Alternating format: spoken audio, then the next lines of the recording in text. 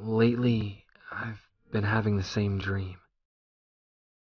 I noticed there's a pond where the water isn't frozen. For a body of water this size, it's strange. As I skim the water with my hand, I notice my reflection. What I see is not me. Chalk follows gold. Before I can react, my reflection emerges. It pulls me down. This is how the dream always goes. Once I'm in the water, I can't get out. In the distance, I hear faint crying.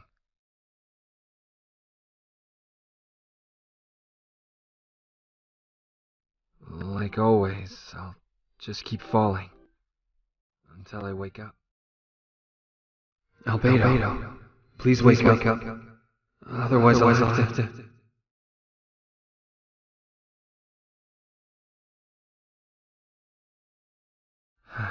This is the first time where I could see the sun in this dream. I'm sorry. I'm sorry. I had to. I'm sorry. I'm sorry.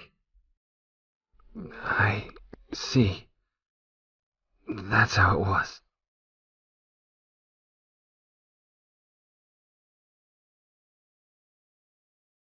Thank you. I'm truly glad that I could meet you.